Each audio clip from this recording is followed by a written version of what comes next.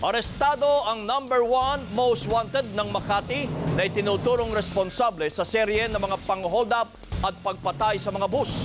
Exclusive, nagpapatrol si Maan Makapagal. Sunod-sunod ang serye ng mga pang-hold up sa bus mula Hulyo hanggang Disyembre noong 2013. Isa sa mga nabiktima ang hotel chef na si Christian Serrano. Namatay siya matapos barilin ng mga hinihinalang holdupper ng sinakyan niyang bus. Patay din ang 22 anyos na call center agent na si Adrian Castillo na binaril sa loob ng bus matapos manlaban sa mga holdupper. Ayon sa Makati Police, umabot sa 33 ang insidente ng bus robbery sa EDSA na sakop nila noong 2013. Isa sa mga grupong binabantayan ng Makati Police ang grupo ni Roel Bautista alias Kokoy na bumibiktima sa mga bus sa EDSA Ayala at Buendia Avenue.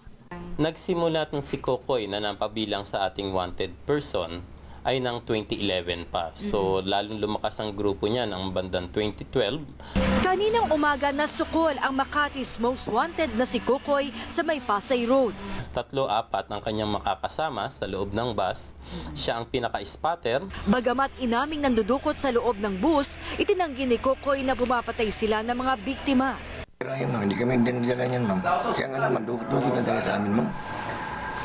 Kaya, kaya, hindi ba nga nasangkot rin sa rabiri-rabiri ma'am? Yung- Ayon sa Makati Police, patuloy pa rin ang pagbabantay sa mga hotspot sa EDSA at paglalagay ng bus marshals lalo na sa mga oras de peligro.